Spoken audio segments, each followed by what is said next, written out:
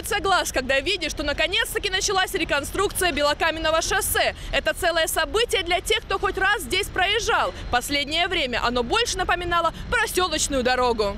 Четыре года белокаменное шоссе не подвергалось какому-либо ремонту. Ямы, бутылочное горлышко на одном из участков. Шоссе сужалось с четырех до двух полос.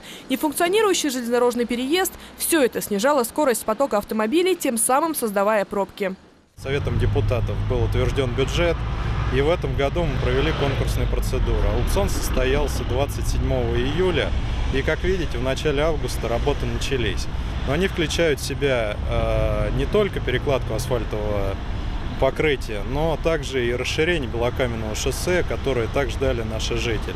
Тендер на проведение реконструкции выиграла видновская компания «Кадор». Ремонтные работы будут выполнены за счет средств из городского бюджета и частных вложений. Планируется расширить проезжую часть до двух полос в каждую сторону, так, чтобы шоссе стало четырехполосным на всем протяжении. Положить новое дорожное покрытие, установить столбы освещения со светодиодными лампами, асфальтировать тротуар и демонтировать недействующий железнодорожный переезд. Будем надеяться, что жителям понравится. Со стороны администрации это очень сильно разгрузит как въезд в город, так и выезд. А, ко всему прочему, на выезде на Каширское шоссе мы планируем а, организовать трехсторонний разъезд, то есть организовать две полосы на выезд налево, то есть в сторону Москвы, и одну полосу оставить для выезда направо.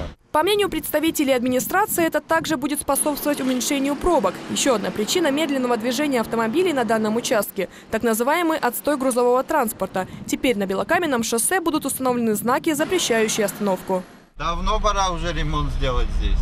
Я очень рад, замечательно. Желательно, чтобы это произошло побыстрее. Все очень хорошо будет, если сделают. Все будут рады.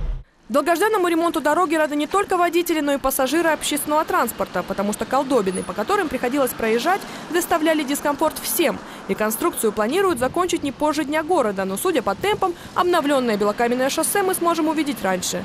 Юлия Погосян, Евгений Петров, Анастасия Нурхонова, Видное ТВ.